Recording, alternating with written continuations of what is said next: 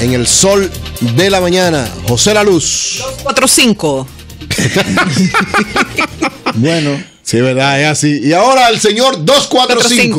Más votado. Él, uno de los más- va a ser uno de los más votados. Cuidado si es más. debo, debo ser uno de los más Sí, votados. tú vas a ser porque- uno de los más Porque votados. mi candidatura no es una improvisación. No, y además está en las dos listas, te apoya todos los- te apoyan de los dos lados, te apoyan sin lado, además, te apoyan con la... Eury, tú te fijas, todo el que habla de la luz, que cuando han venido acá del partido, hablan de él como él, como él llegó jovencito, un niñito, tú eras como el niñito, el... y uno puede deducir, porque lo conoce y por lo que dicen los demás, que demostró sus condiciones siendo muy jovencito. Todo el mundo habla de él como con cariño, Así. Gedeón, Sí, todo. Gedeón mucha lo gente. formó. Lo que pasa es que una vez, cuando estábamos terminando la comunicación, yo recuerdo que en el periódico El Caribe se abrieron unas pasantías. Entonces, en esa pasantía, yo recuerdo que Héctor Herrera Cabral Ajá. la, La tomó. La tomó. Ok. Y entonces yo, a, a uno de los que participó, que no fue a Héctor, eh, le pregunté, "¿Cu- ¿y cuánto van a pagar ahí? Tres mil pesos. Y yo En dije, ese tiempo. pero yo dije, y yo voy a trabajar por tres mil pesos. Entonces el PLD tiene un periódico que se llama Vanguardia del Pueblo. Y yo dije, pero es mejor. Que me lo paga el PLD y yo hago trabajo político. es no, porque yo, entonces en el PLD, si tú faltabas tres reuniones consecutivas, te votaban del partido.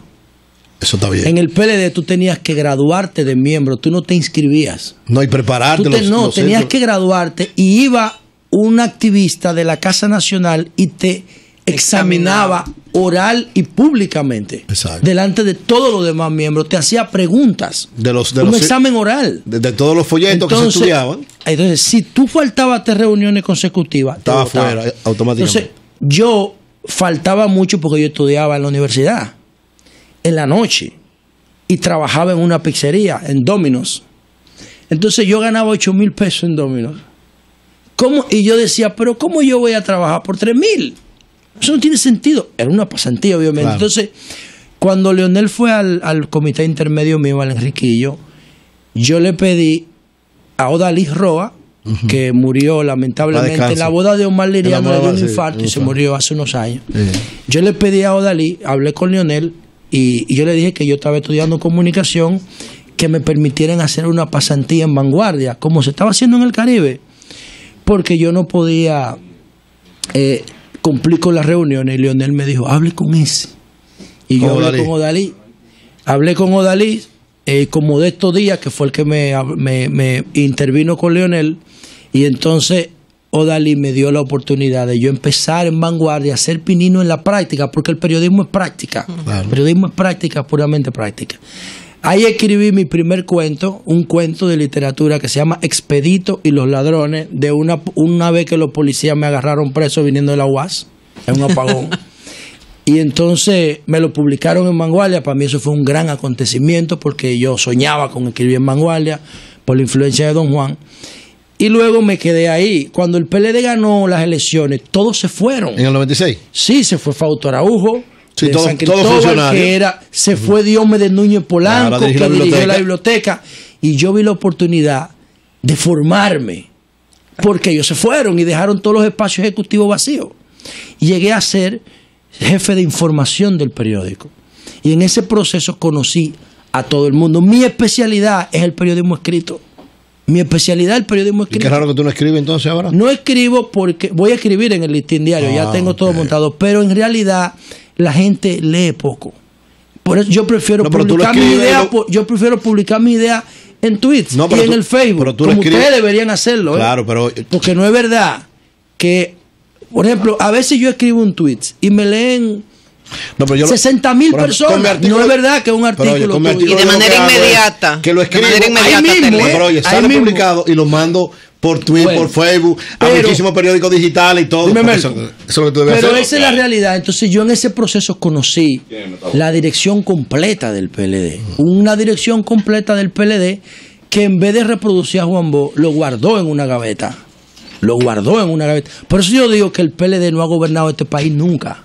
El día que el PLD, Ahora- esa ahora esencia. lo está gobernando. Un poco. Bueno, ahora, poco, está- ahora poco. el bochismo está gobernando. Un, un poco. Ah. El día que el PLD salga de esa gaveta, el bochismo, que en el Congreso de 1994, el, el, el bochismo fue escogido Como la- como la, Ideología. la teoría, la, la ideología del partido. Esa es la ideología, la no es ideología leonelismo, oficial, no, la ideología- no es danilismo, la ideología oficial es del bochismo, ¿eh? Eso es una usurpación, por eso yo no lo asumo con el respeto que ellos se merecen. Es el bochismo la ideología central del Partido de la Liberación Dominicana. Sus obras escritas, históricas, políticas, económicas, sociológicas, literarias, eso está ahí. Y Juan Bo escribió todo lo que hay que hacer en este país. Todo. Nada más hay que buscarlo, desempolvarlo y ponerlo en práctica. Obviamente, Adaptado a este tiempo. adaptándolo a este tiempo, porque don Juan también tuvo su Claro. debilidad. No, era un ser humano, tenía también. Bueno, señores, miren, a propósito de, de lo que yo digo, de esto del bochismo y todo eso, ayer el presidente Danilo Medina recibió los saludos de Año Nuevo. En el año 2005, yo le dije al presidente Fernández, en el año 2005, presidente, estos saludos no tienen sentido. Se lo dije. Estos saludos no tienen sentido porque aquí viene la misma gente todos los años. Pero además, oigan esto, ahí se trafica con influencia. El que tiene vínculo con las estructuras de seguridad, y Melton lo sabe, y Eury lo sabe, yo no sé si María Elena lo sabe, Así es. lo ponen adelante a saludar al presidente. Bueno, fue un acto de 25 minutos, fue una cosa. que- Lo ponen adelante y le dicen, entra por esta puerta para ti. No, no, ya no, ya Y por eso invitación, es- José. y Ya, eso, ¿qué? esta es diferente. Recuérdate, si son 25 minutos, nada más estaba el cuerpo Entonces- diplomático, nada más el, el personal diplomático y la jerarquía católica. Entonces, más nadie. Ahí bueno, no fue pues ningún entonces- empresario entonces- ni ningún que yo entonces- yo digo algo. Eso, sí, eso fue, yo veo que exacto. que Sí, eso- eh, se cambió Pero, totalmente. ¿Qué es lo que sucede, Eury? Que como está la, eso es una práctica trujillista. Yo estoy de acuerdo contigo. Como está la sociedad actualmente, ¿qué es lo que tiene que hacer Danilo? Danilo lo que tiene que hacer es un chat o un Twicam. Y ya, y ahí le puede hablar todo el mundo, el que tenga la oportunidad de conectarse. No solamente los poderosos. Porque que en ese modelo de saludo, tú sabes lo que, la rigurosidad que es para entrar al palacio o para conseguir una invitación. Entonces, todo el mundo tiene derecho a saludar a Danilo, el que lo quiera saludar. El que le quiera desear feliz año, el que quiera com- comunicarle algo en esa oportunidad, pero solamente tienen acceso a él los ricos y los poderosos. Entonces eso es un tráfico de influencia que hay que desterrar, eso hay que eliminarlo. Esos saludos de Año Nuevo, eso es una práctica trujillista, que eso hay que quitarlo de la institucionalidad dominicana, porque se reproduce todos los años igualito. Y solamente van las mismas gente los mismos funcionarios que tienen influencia en él, que lo ven todos los días, vuelven y lo saludan. No, no había un funcionario ayer. Entonces- ya se cambió nada más cuerpo diplomático y eclesiástico, nada más. Entonces, que lo ven en todos los actos oficiales también. Bueno, pero quieren- Lo ven en los actos oficiales. Entonces, ya con la tecnología, la, la comunidad dominicana en el exterior que manda 3.500 millones de dólares, ¿no tiene derecho en Año Nuevo a saludarlo? Bueno, entonces tú haces un chat oficial y hablas una hora con ellos ahí. Y además no estás parado ahí una hora porque eso, yo me imagino que se le hinchan las piernas a él y a Candy, a todos los que están ahí. Una hora, dos horas. Leonel, No, duraba, Leonel duraba cinco horas. Sí, pero ¿tú sabes cuánto duró ayer? 25 minutos. Ah, bueno. Sí, no, ayer fue una fila, eran poca gente. Pa, saludo y listo. Y- Entonces hay que ir cambiando. Él lo está él lo está- suavizando. él lo está así. Él lo está suavizando. Ojalá que el próximo que llegue lo elimine. Y recuérdate vaina. que eliminó. Y y recuérdate que eliminó otra práctica trujillista muy ¿Cuál? mala. Que, di que el día del cumpleaños tenía que ir todo el mundo a saludarlo allá. El día de No, su no es obligado. No, pero oye, los- todos los presidentes anteriores, el día de su cumpleaños, se paraban en Palacio, iba la fila larguísima de todos los funcionarios a llevarle regalos y a saludarlo. Danilo quitó eso. Aunque no sea obligado, cuando se pone un día así, todo el mundo Claro, se siente como en la obligación de ir. Pero era el espíritu, el espíritu trujillista. Yo cumplo está años y espontáneamente Eso no venga. está bien. Eso no está bien. Hay que, Hay que evitar el culto a la eliminaron. Hay que desmontar personalidad. esa estructura, esa simbología trujillista. Ese palacio hay que abrirlo, esos pasillos oscuros, ese, esa cortina húmeda llena de hongos. Eso hay que eliminar todo eso, abrir las ventanas, que se promueva la transparencia desde, la, desde el primer espacio gubernamental, que es el palacio. Otro tema, señores, miren, eh, a propósito del asesinato de esta muchacha de Spears, yo y, y el encuentro entre Maduro y, y Capriles, yo lo estoy saludando desde ayer. Eso es una. Sí. Miren cómo esa muerte sirve para algo, ¿no? Como deberíamos hacer con la muerte de esta muchacha en Santiago, de la, de la sobrina de Abel, y nosotros hacer una reflexión constructiva para ver si podemos parar este, este- esta epidemia de asesinato de mujeres, porque las mujeres quieren tomar sus propias decisiones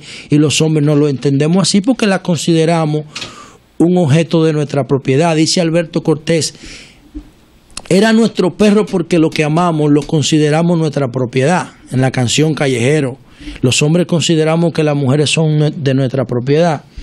Entonces, esto de Venezuela, hay cosas que uno no entiende.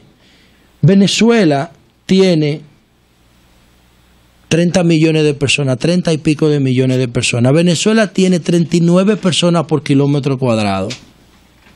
39 personas por kilómetro cuadrado. Nosotros tenemos 100 por kilómetro cuadrado. Nosotros tenemos una densidad poblacional tres veces la de Venezuela. Eury, búscame cuánto es el PIB de República Dominicana. El PIB, 62 mil millones de pesos. El de Venezuela, 62 mil. El de Venezuela es casi 400, mil, casi 400 mil millones de dólares. El de nosotros es 62 mil. 62 mil. Si nosotros multiplicamos nuestro PIB por 3, serían 180 mil millones de dólares. Venezuela tiene tres, casi 400 mil millones de dólares. Lo tengo por aquí, porque aquí está. Venezuela tiene 300, Venezuela tiene 408.805 millones de dólares de PIB, casi medio billón de dólares de PIB. Nosotros tenemos 62 mil. 62 mil. ¿Cómo es posible que en Venezuela haya un pobre? Yo, yo me explico. yo me pregunto, 30 millones de personas, nosotros somos 10. Nosotros tenemos un PIB de 60 mil millones de dólares. Ellos tienen un PIB de casi medio billón de dólares. ¿Cómo es posible que en Venezuela haya un pobre? Por el mal manejo. Hay 39 personas por kilómetro cuadrado. El mal manejo que ha habido. Tienen tierra, tienen recursos madereros, agroforestales, petróleo. tienen petróleo, tienen gas natural, tienen oro. Pero oye eso, solamente 39 por kilómetro cuadrado. Que solamente repartiéndole tierra, todos son ricos. ¿Por qué en Venezuela hay tanta pobreza? ¿Por qué en Venezuela hay ese ambiente de inseguridad, de marginalidad? ¿Por qué? Yo no entiendo eso. Desde el punto de vista económico no se entiende. La única explicación, la única explicación que tú le puedes encontrar a, esa, a esos niveles tan abismales de inseguridad, esos indicadores que se están viviendo, yo no sé si Eury lo quiere decir, pero Yuri Rodríguez, nuestro compañero de 5 a 7, fue a Venezuela a buscar el padre de su esposa. Y Yuri nos contó, Melton estaba en el restaurante que nos lo contó. ¿Te acuerdas cuando fuimos al Caridad de Nueva York? Y estaba Eury, yo no sé si Eury estaba ahí. Él nos contó que en el hotel, señores, ¿sabes lo que hicieron? Lo del hotel. Él llevó sus dólares para financiar su viaje, lo puso en la caja fuerte del hotel y el personal del hotel se lo cambió por dólares falsos. Dentro del hotel. Dentro del hotel. Fueron y le pusieron, le pusieron dólares falsos la misma cantidad que él había guardado ahí, se lo amarraron con la misma gomita. Ay, Dios y se llevaron los originales de la caja fuerte del hotel. Cuando él salió, imagínate tú, agaste esos dólares, por poco lo matan. Y entonces tenía que salir con seguridad a la puerta del hotel. Para moverse tenía que ser con seguridad y un nivel de riesgo impresionante. Y yo digo, la única explicación que tú le encuentras a eso es la desigualdad, es la concentración de la riqueza. Porque alguien tiene esos 400 mil millones de dólares, alguien lo tiene guardado. Cuando tú vas a Miami, cuando tú vas a Miami y tú ves el comportamiento, el estilo de vida de los venezolanos, de los venezolanos, de los adecos y de los copé que salieron huyendo después del chavismo, tú lo ves en Ferrari, en Porsche, en GT, de lo que se mató por Walker gastando dólares en, en, Miami, producto de esa acumulación de dinero asquerosa que hicieron en los gobiernos de ADECO y de COPEI. Entonces, esa concentración económica tan aberrante es la que tiene a Venezuela sumida en estos niveles de inseguridad. ¿Tú sabes lo que ella le dijo a su manager? Porque ella vivía en Miami. Ella vivía en ese ambiente que yo estoy denunciando, que yo he visto en Miami de noche, de los que tienen los venezolanos allá. Ella vivía en Miami, en ese ambiente de seguridad y de, y de, y de, y de, de consumo extremo. Y ella se fue para su país. Y ella le dijo a la manager, yo quiero vivir en Venezuela. La gente es buena. Uno solamente tiene que cuidarse. Yo quiero vivir en mi país. Y mira lo que encontró ahí. Mira, la habían asaltado varias veces, dijo su padre. Pero hay un, hay un elemento que a mí me resulta extraño. ¿Cuál? Que no se llevaron nada. No, no, no. No. Oye, ¿qué pasa? Los tipos habían puesto una trampa en la calle. ¿Qué significa eso? Imagínate la grapa que ponen en la, en la Eh, huelga. O la piedra en Villa Altagracia. O las piedras. Antes. No, no, en Villa Altagracia te tiran. cordón, eh, Ah, no, un un cordón, cordón, ¿verdad? En Villa Altagracia te tiran lubricante Pa' que tú te para que el carro se desparrame y ahí van y te dan los primeros auxilios. Eso hicieron allá. Pusieron un objeto de metal. Le tumbó la goma. El carro le rompió la goma y entonces ellos llamaron una grúa. O vin- iba pasando una grúa. Cuando ellos están con los grueros, vienen cinco tipos a asaltarlo y los grueros se van. Y ellos se encierran en el carro, los tres, la pareja y la niña. Y entonces los acribillan a los tres. Pero No, no- a la- a la niña no a la niña la Está hirieron. viva, está viva. Pero no se llevaron nada. No se robaron nada. Entonces resulta extraño que no se hayan robado nada. Eso dice. Tendrá el- implicaciones políticas entonces. Eh, no sé. ¿Tú sabes por no sé. no que salieron huyendo, no que vino una patrulla de inmediato, leían una información. No, los que salieron huyendo fueron los de la grúa. A los que estaban a llamar a la ayudando. policía. Pero eso no tiene lógica entonces desde el punto de vista de que de, de que delincuencia. Pues se supone que debieron asal- Si lo mataron, debieron llevarle todas las cosas. No, no le robaron. Pero entonces eso no tiene explicación. No le robaron nada. Eso es lo Sería extraño. interés de ¿Será que hacerle Hay daño. cinco detenidos ya. Siete. por el caso. Siete. Detenidos. y pusieron dos más. menores de edad. Y entre ellos dos menores de edad. Bueno, entonces, señores, miren, por último, eh, yo quiero decir lo siguiente a propósito de la Eh, huelga. perdona la luz, ya que dices eso, recuerden ese excelente servicio de obras públicas. Esto no Ah, es un mensaje pagado, ¿eh? No. Esto lo hacemos para ayudarlos. Por eso mismo que decía no la luz. pagar, ¿no? Bueno, obra pública tiene este servicio que te ayuda si estás en la carretera por un defecto, algo Y mecánico. muchas patrullas de obras públicas en Sí, todas las carreteras. En todo el país. Orientación 829-688-1000. Yo no me lo sé de memoria como Víctor, pero lo tengo en mi celular. Bueno, por último, la huelga de comerciantes. Eh, La reacción de los comerciantes es normal, pero más normal que la, que la reacción de los comerciantes es la intención del gobierno de que todo el mundo se formalice. No hay ninguna forma de que esta sociedad sea viable si nosotros no la, Formalizamos llevamos, el la llegamos a la legalidad. Los negocios y nosotros empleo. vivimos en un Estado de Derecho. Nosotros tenemos que respetar las leyes, tenemos que cumplir con nuestras obligaciones para poder exigirle al Estado que nos respete. Nosotros tenemos que cumplir. Todo el mundo tiene que pagar impuestos. Y se llama impuestos por eso, porque son compulsivos. Hay que pagarlo obligado, obligatoriamente, pero hay que pagarlo. Porque si no pagamos los impuestos, no vamos a tener seguridad. No vamos a tener los servicios públicos fundamentales, no Obras vamos a tener públicas. carreteras, no vamos a tener alumbramiento público, no vamos a tener puentes, ni Educación ni pública. túneles, ni educación. Le estamos metiendo, señores, 4% del PIB a la educación. Eso tiene que salir de algún lado. Entonces, Alvin Toffler, el más genial de los sociólogos vivos, habla de prosumidores. ¿Qué significa prosumidores? Que los mismos que consumen son los mismos que producen la riqueza. Eso pasa con los comerciantes. Son prosumidores. Ellos producen y consumen al mismo tiempo. Como producen la riqueza, son celosos de cómo los gobiernos gastan sus impuestos, de cómo el gobierno gasta públicamente el dinero que recauda. Pero ellos tienen que, ellos tienen que contribuir primero para exigir. Y yo pienso que la resistencia es normal porque te están alterando tu esquema de negocio, pero tenemos que ser sensibles y entender que este gobierno ha dado muestra de que respeta el dinero público. Y ahí está la transparencia con la asignación de obra. Ahí está el programa Quisqueya Aprende El Contigo. 4% de Ahí está el apoyo a la pyme de más de pymes. 10 mil millones de pesos. Ahí está el 4% a la educación, ahí está el aumento a los policías y a los militares. Entonces el gobierno ha dado muestra de que respeta el dinero público. Entonces vamos a pagar impuestos. Que en la medida que el impuesto que nosotros vamos a pagar, cuando lo expresamos de manera particular, es mucho menor a los servicios públicos de calidad que vamos a recibir. ¿Queremos servicios públicos de calidad? Entonces vamos a pagar impuestos. Tenemos que pagar impuestos, Eury. Bien. 8.19 minutos en el sol de la mañana.